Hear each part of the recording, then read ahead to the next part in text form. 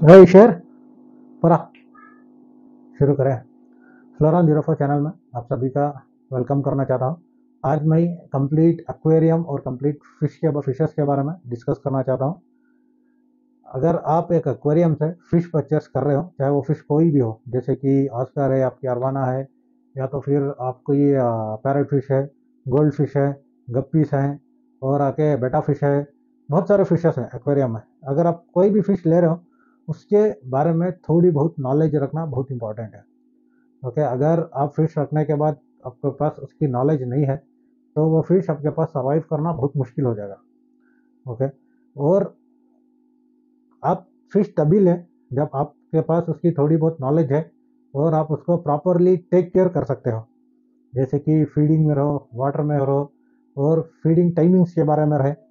कुछ भी रहे, आप उसके बारे में थोड़ी बहुत नॉलेज रख के ही वो फ़िश फ़िश को परचेस कीजिए, ओके?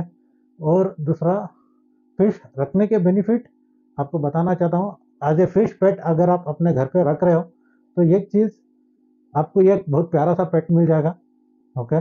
और दूसरा, अगर आप स्ट्रेस फील कर रहे हो तो आप अपनी फ़िश को देख के रिलैक्स कर सकते हो और आपका ब्लड प्रेशर भी मेंटेन में रहेगा, ओके? तो ऐसे ही थोड़ी बहुत जो मुझे नॉलेज है, इसके बारे में मैं ऐसा डिस्कस करूँगा अपने चैनल में। प्लीज़ आप सभी को रिक्वेस्ट है, मेरे चैनल को सब्सक्राइब कर लीजिए। फ्लोरन zero four, thank you for watching.